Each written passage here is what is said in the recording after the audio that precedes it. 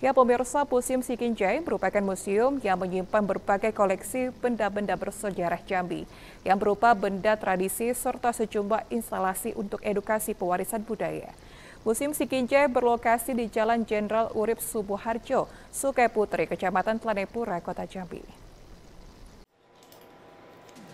Museum Sikinjai merupakan museum yang menyimpan berbagai koleksi benda-benda bersejarah Jambi yang berupa benda tradisi serta sejumlah instalasi untuk edukasi pewarisan budaya.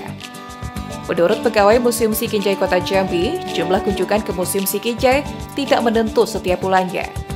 Di saat hari kerja, pengunjung yang datang ke museum dapat mencapai seribu orang per bulannya. Karena saat ini adalah program Merdeka Belajar, sehingga banyak kunjungan dari siswa-siswi untuk belajar ke museum untuk melihat benda-benda bersejarah. Tetapi pada saat hari libur sekolah ataupun bulan libur sekolah, yaitu pada bulan Juli dan Desember, pengunjung yang berkunjung ke Museum Sikinjai akan lebih banyak, bisa mencapai 5.000 orang per bulannya.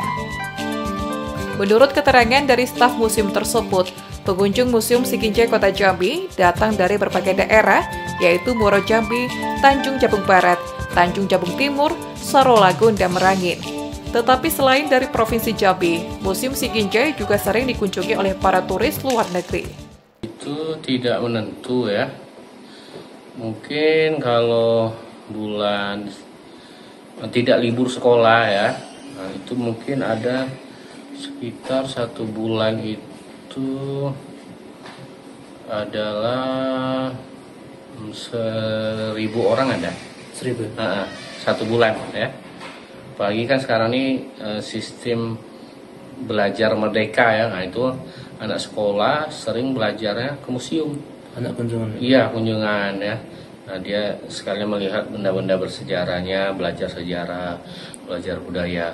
Tapi di hari libur ya bulan September eh, bu, eh, bukan bulan September bulan Juli Juli ya Juli Desember yang itu lebih ramai lagi tuh itu dari luar kota malah berkunjung Muaro Jambi dan Jabung Barat Tanjung Jabung Timur ya.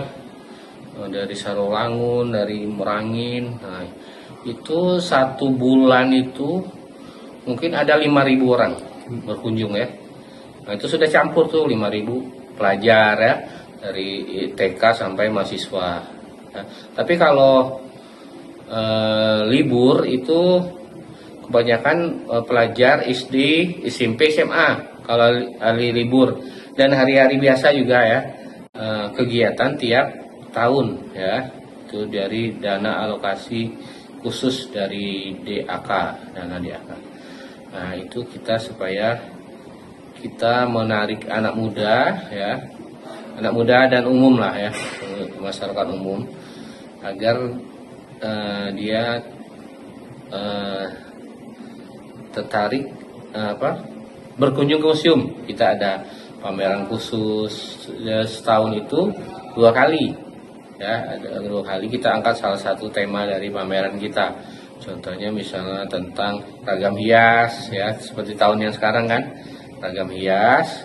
Sudah tuh ada kalau ragam hias itu kemarin soal sama sewarna bumi. Pameran sewarna bumi yang satu lagi pameran tentang anyaman. Anyaman nah itu dari salah satu jenis koleksi itu kita uh, kita apa kita tampilkan gitu. Kita apa kita angkat untuk menjadi pameran khusus.